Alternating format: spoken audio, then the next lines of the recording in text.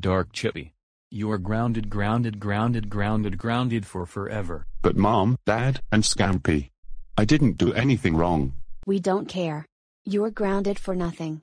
Go to your room right now. Ha